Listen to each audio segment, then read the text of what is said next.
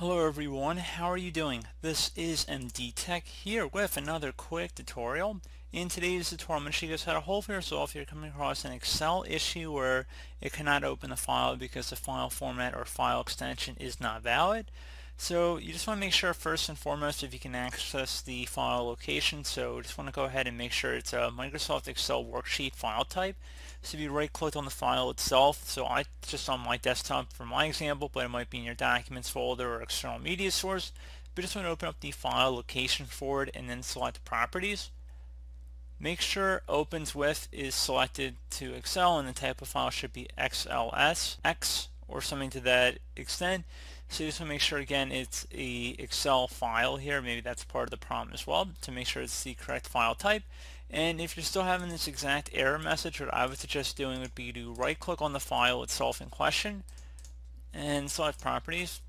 Select the security tab. So again, select security and then select the edit option next to change permissions.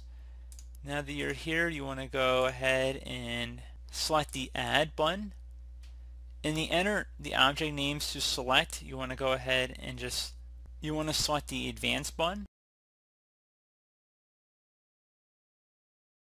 Give it a moment to load up here. Select Find Now, and then go down to Everyone, and then left click on that one time, and then left click on OK. Select OK.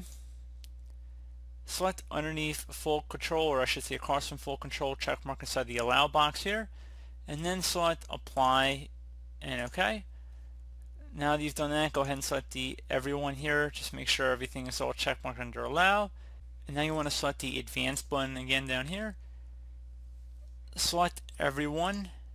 So now that you've selected everyone, select the edit option. And again, make sure everything's check marked underneath full control here. And now that you've done that, go ahead and select OK. Select OK again to close out all this, and then if you open up your Excel file, it should be good to go. So I do hope this brief tutorial was able to help you guys out, and as always, thank you for watching, and I do look forward to catching you all in the next tutorial. Goodbye.